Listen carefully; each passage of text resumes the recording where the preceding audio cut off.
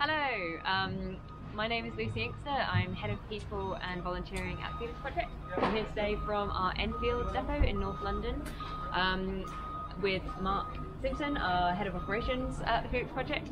And we just want to give you, give you a quick update on how we've been reviewing our COVID guidance in light of the um, announcements last week about the roadmap out of lockdown and what that's going to look like for volunteering at the Felix Project. Um, so the first thing we're looking at is co-driving and we'd really like to introduce co-drivers on or around the 12th of April which is um, when the second stage of uh, the lockdown easing is um, set to begin. Um, and as usual, um, any driver who's not comfortable with having a co-driver will be able to opt out of that.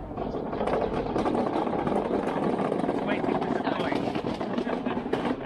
We are in a Um, it's also incredibly important that we keep everybody safe during uh, during this time. So we will not be reducing any of our um, uh, COVID safety measures um, for the time being. So we will still be uh, expecting people to, to sign in with their taking their temperatures, wearing masks, social distancing, hygiene rules around the depots.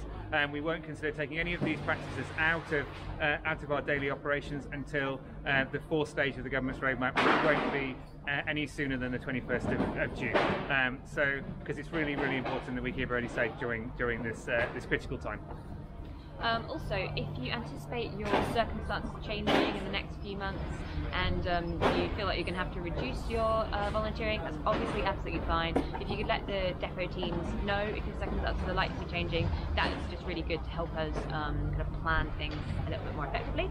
Um, and also to do with planning, it would be brilliant if everyone could continue to book up all of their shifts uh, in advance where possible, as that just helps us to um, know that everything's covered be able to concentrate on giving you the best volunteering experience possible. Thanks very much, everybody.